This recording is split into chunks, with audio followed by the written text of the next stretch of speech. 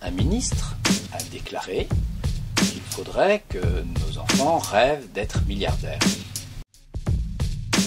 Qu'est-ce que ça veut dire?